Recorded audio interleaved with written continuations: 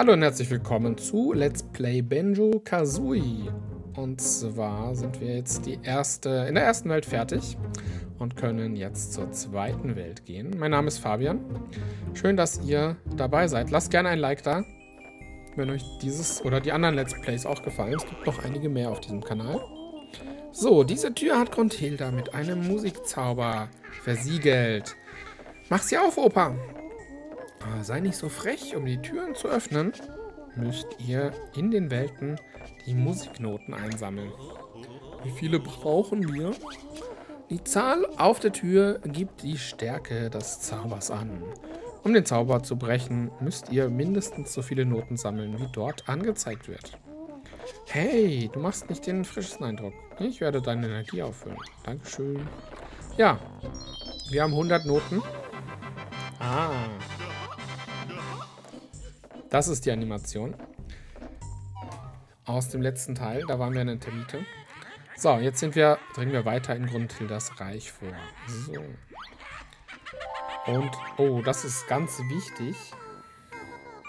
Hallo meine Hilden, ich bin Brenthilda, Grundhildas jüngere Schwester. Ich möchte euch helfen. Es wird Zeit, dass man der alten Schachtel eine Lektion erteilt.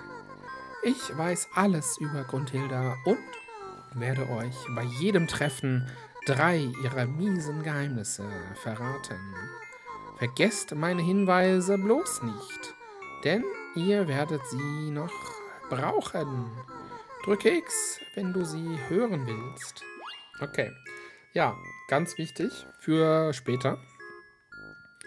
Äh, das muss ich mir aber echt aufschreiben. Ich glaube, das ist sogar wirklich in jedem Durchlauf anders. So, okay. Dann hören wir irgendwas mal an, anhören. Die putzt, putzt die Zähne mit Fledermaushaut. Hm, ja. Mit was? Das habe ich jetzt verpasst. Und ihre Kleidung holt sie sich aus dem Seggy Maggies Boutique. Putzt die Zähne. Grundhilda wäscht sie mit Motoröl.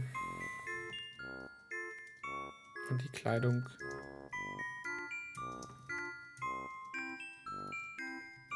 Aus der Boutique. Mhm. Weil ich hatte auch schon Spieldurchläufe, da war es der Mülleimer. So. Ähm, Treasure Trove Cove ist die nächste Welt. Und da brauchen wir zwei Puzzleteile auch. Und dann können wir die Teile einfüllen. Man kann natürlich keine entfernen, sobald man sie entfernt, äh, eingefügt hat. Sonst könnte man mit ganz wenigen Puzzleteilen ganz, ganz weit kommen. Treasure Trove ist geöffnet. Aber wir schauen uns hier erstmal um. Und zwar, da ist der Gang nach oben. Da ist einfach Licht. Ich finde ja sehr cool gemacht, diese Oberwelt, weil die einfach so viele Sachen in sich vereint. Wir haben hier einen Gegner, der diesmal noch recht einfach ist. Dann gibt es hier noch den Weg nach unten. Äh, dann gibt es hier noch ein Eier zum Einsammeln. Ein Mumbo-Schädel hinter ihm platziert, den man nicht sieht wegen der Kamera. Auch sehr geschickt. So, jetzt müssen wir nur noch aufweiten. Der magische Kessel ist aktiviert. Finde zwei gleicher Farbe, um eine Abkürzung zu schaffen. Mhm, das sind nämlich Teleportkessel. Mit denen können wir dann weiter ins Reich eindringen. Genau, so. Und als Kind oder, also man sieht dann halt hier schon zum Beispiel die nächste, die nächste Sache. Diese Sprungplatte dient Kasuis Supersprung.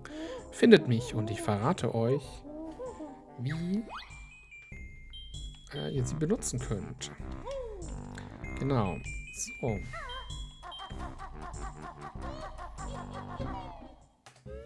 Also es ist ein sehr, eine sehr verschachtelte Oberwelt. Mit vielen Geheimnissen. Da unten sehen wir schon den Eingang. Aber ich zeige euch mal noch ein bisschen mehr. Da oben ist eine ist die Noten Äh, Notentür 180 brauchen wir. Und da ist der Eingang zur dritten Welt auch schon direkt. Und hier unten sogar äh, kommt man sogar zur letzten Welt noch. Ist also sehr, sehr versteckt und geheimnisvoll. So. Mal schauen, was wir hier noch machen können. Da kommen wir schon mal hoch. Und genau, und der ist ein bisschen, ein bisschen hartnäckiger schon. Ich bin eine rote Feder. Wenn Kazui das Fliegen gelernt hat, werde ich ihr dabei behilflich sein. Tja, rote Federn sind sehr wichtig.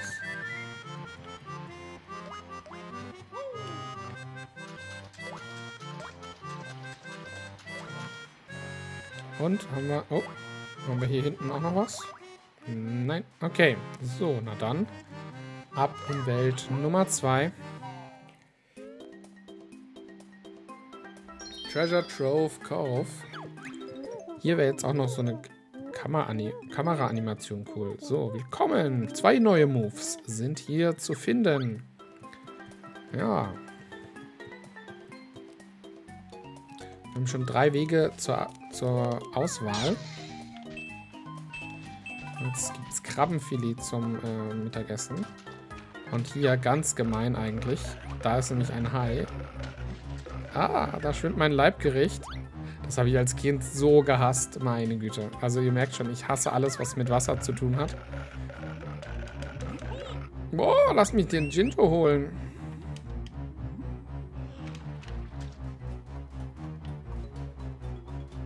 Also meine Güte, du. Der kommt halt jedes Mal sofort wieder. Ah, ich muss den Jinjo doch holen. Lass mich in Ruhe. Hä? Boah, war der, der war doch früher nicht so. Nein! Boah. Hass einfach. Einfach Hass. Aber ich glaube, der Trick ist, dass man halt dahin schwimmt und dann untertaucht. Aber man muss es halt nur richtig rum schaffen. Boah. Ihr merkt schon, unter Wasser wird, das Unterwasserlevel wird noch hart. Okay, aber so kriegen wir es hin. Boah. Meine Güte. Meine Güte. Puh. So, jetzt müssen wir uns abreagieren.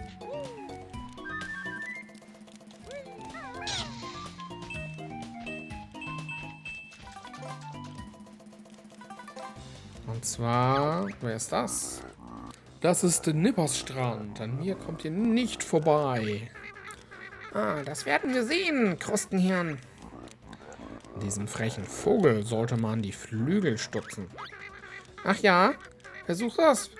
Wenn du dich traust. Wir haben den Flugmove übrigens noch gar nicht gelernt. Ah ja, genau. Ins Auge gepickt. Autsch, das hat wie getan. Jetzt bin ich aber echt sauer. Ja, ihr merkt schon, ja, eskaliert. Und... Au. Hey. oh mein Gott, warum bin ich so schlecht? Ich war mal voll gut in dem Spiel. Jetzt aber immer noch nicht. Meine Güte. Boah, ist ja peinlich. Das ist richtig peinlich. Weil wir gleich sterben. Wir brauchen jetzt erstmal irgendwie so einen Honigtopf. Da höre ich schon einen. Da hinten ist auch einer. So, da hat es außerdem... Ah, der ist sogar neben uns direkt. Moment, die roten holen wir auch noch. Okay. Tja, ich weiß nicht, ob es an der Steuerung liegt oder einfach äh, an mir. Wahrscheinlich an mir.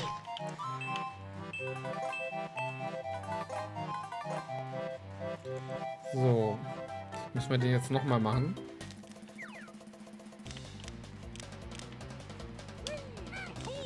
Aber wieso geht das denn nicht? Müssen... So, jetzt. Also, ganz komisch. Okay, da ist noch ein Mumbo-Schädel, den wir einfach so holen, ohne dass der Hai kommt, bitte.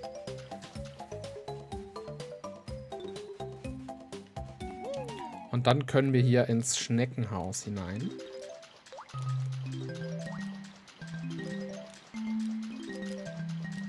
Hier sind nämlich auch Musiknoten.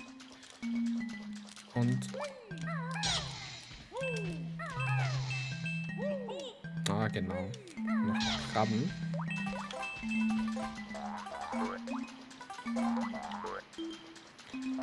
So, und natürlich nicht vergessen das Puzzlestück. Das erste in dieser Welt.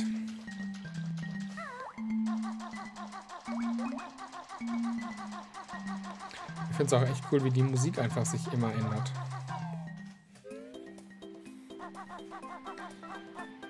So. Dann schauen wir mal, wo wir jetzt äh, als nächstes hingehen.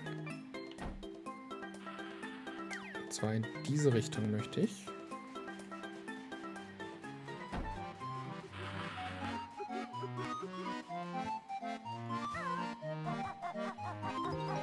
Wir könnten dem armen Captain Blubber helfen. Oder wir lernen direkt das Fliegen. Oder aber wir holen erst noch den Jinjo. Jinjo Nummer 2.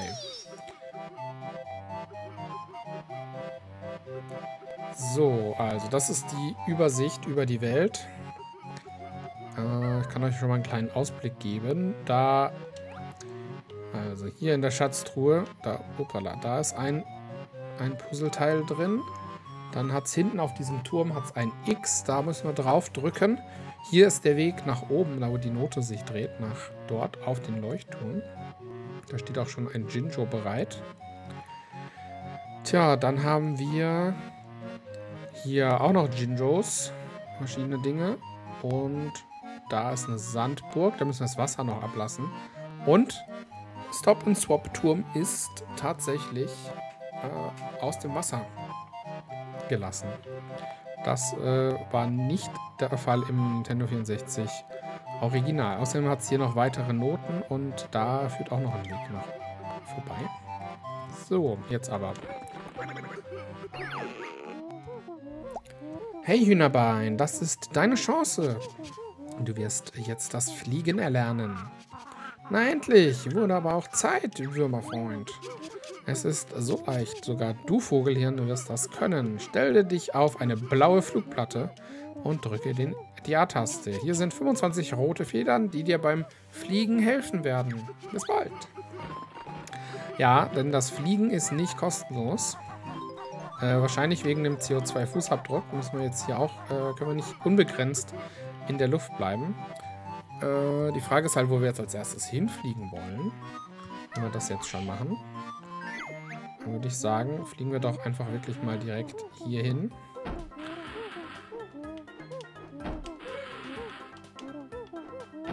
Und versuchen mal, wie kommen wir denn hier mit der Stampfattacke, können wir es beenden. Dann können wir uns dieses Puzzleteil hier einheimsen. Okay. Oder so. Ah, dieser Schatz, der war für mich. Nun wird das hart für dich. Tja. Ja, jetzt müssen wir wieder vor dem Hai abhauen. Nein! Aber mit dieser Kamera ist echt ein bisschen tricky. So, dann schwimmen wir mal, denn es geht hier nach da drüben.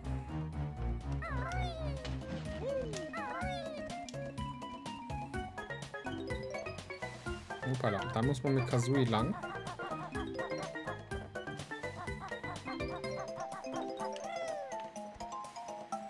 Und hier kann man wohl auch noch nach hinten. Was ist denn hier? Okay.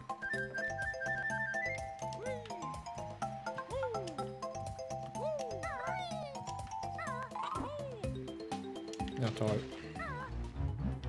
Das ist also das Bescheuertste, wenn du dann auch noch anfängst. Hm. Excuse me? Wenn er dann auch noch anfängt zu schwimmen unter Wasser, aber da fliegen wir doch einfach hin nachher. Jetzt müssen wir hier nur irgendwie wegkommen.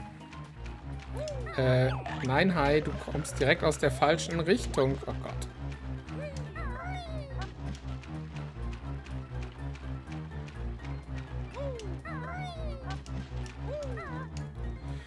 Oh.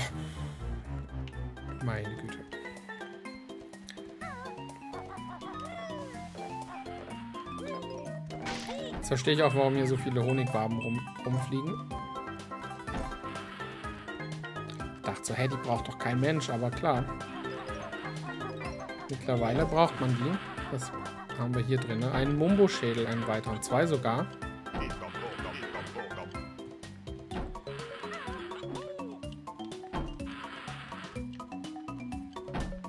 Ja, hier ist die Kamera fest, deswegen kann ich sie nicht drehen. Aber da hinten ist auf jeden Fall noch äh, da genau, da wollten wir noch hin. Hm, aber da kann man einfach hinfliegen. Jedenfalls würde ich da einfach hinfliegen. Und sieht man jetzt auch nicht. Warum sieht man das nicht? Komm. Da unten ist ein Puzzleteil.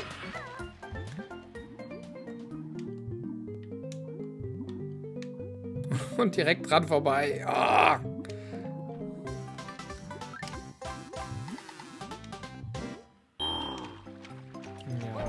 Also dieses Level will nicht, dass man im Wasser ist. Nee, Moment, wir müssen B drücken.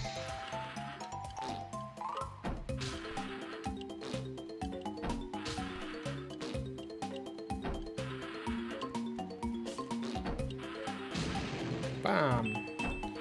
So geht das. Und so geht das nicht.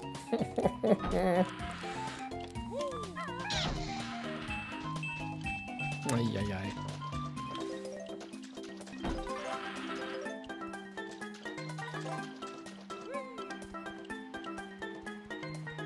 Ah, toll. Die haben wir noch nicht freigeschalten. Dann tun wir das jetzt als nächstes. Da ist noch ein Mumbo-Schädel. Dass es einfach so viele Mumbo-Schädel hat.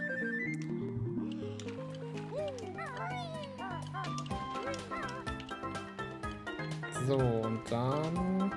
Genau, hier... Hier links im Bild, da ist, glaube ich, noch eine Honigwabe versteckt. Ah, und da ist auch die... Eine für uns. Ah, da unten? Nee, da unten ist eine Honigwabe. Hm. Tja. Oh, und da ist noch ein Jinjo gewesen. Also wir können auf jeden Fall wieder auch an Höhe gewinnen. Äh, dann machen wir das doch zuerst so. Und zwar... Oh, ganz knapp. So, Jinjo Nummer 3.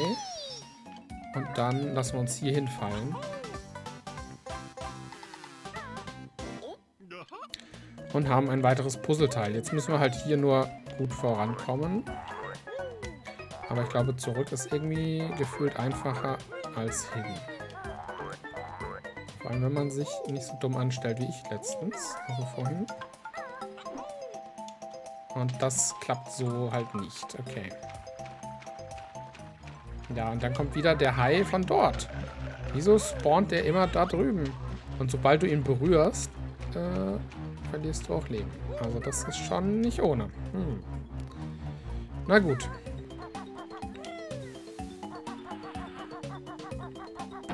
Ich glaube, ich ein 20 Jahre zu spät, um mich darüber zu beschweren. Also, jetzt fliegen wir hier einfach ganz normal mit dem Doppelsprung hin. Okay.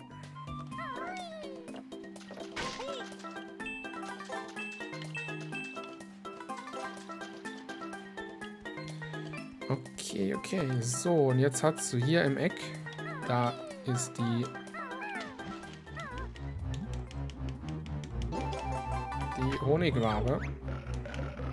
Mmm, lecker. Nein, du sollst uns nicht beißen. Wir sind hier kein... Wir sind vegan. Also der Hai soll doch vegan sein. So. Okay, gut. Gefahr abgewandt.